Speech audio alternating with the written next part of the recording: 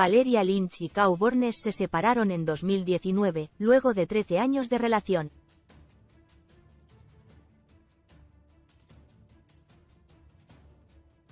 El músico tiene una hija, Thais, quien decidió quedarse a vivir con la cantante luego de la ruptura.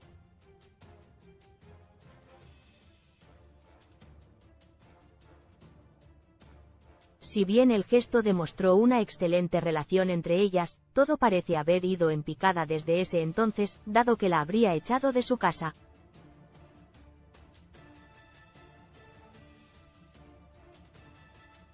Fue en Socios del Espectáculo donde revelaron la primicia, adelantando, desde que Lynch se puso de novia con el músico Mariano Martínez, ex guitarrista de Ataque 77, la cosa entre ellos empeoró.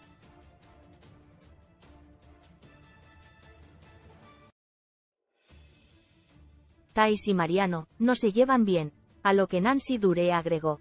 Thais estaba angustiada, me dicen que dijo e por culpa del novio perdí a mi mamá.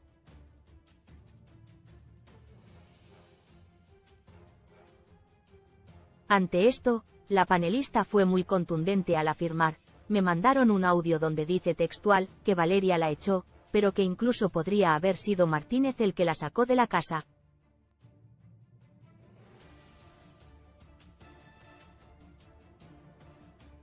Cabe destacar que la cantante y su hijastra eran muy unidas. Luego de la muerte de la mamá de Thais, Lind la adoptó como una hija y la dejó quedarse a vivir con ella, incluso después de la separación con su padre, Kau Bornes.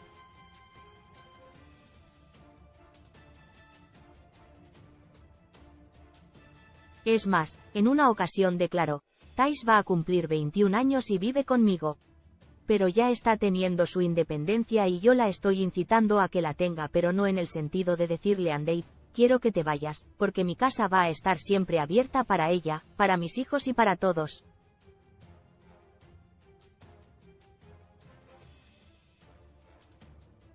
Parece ser que los dichos pasados de Valeria Lynch no coinciden con lo sucedido en la actualidad, ya que en socios revelaron que la cantante habría echado a su hijastra, Thais, debido a que la relación con su actual novio, Mariano Martínez, no era para nada buena.